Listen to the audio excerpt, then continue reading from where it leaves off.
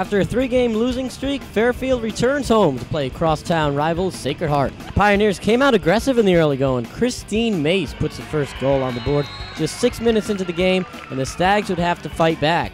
Which they did. Off the diving pass from Fee Heinen, it was Amber Goyne shoving it in the back of the net. Game now tied at one. Then it became the Julie DePoe show.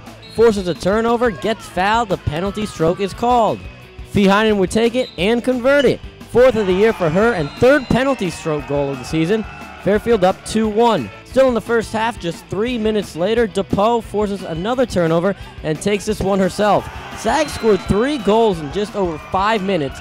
They'd lead 3 1, and that's all they would need. But they added another one in the second for good measure. Off the penalty corner, it's DePoe able to get a stick on it, and that would cap off the scoring. Two goals from DePoe to lead the Stags to a 4 1 win over the Pioneers.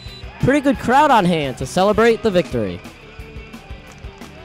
We know to be like, we don't give up. Like, even like if we're like two or three goals down, we always like stay strong as a team, and yeah, it was pretty good to win. Like, I don't think there was uh, one player out of the 22 or any coach at that point that was worried. We knew we were going to win this game today.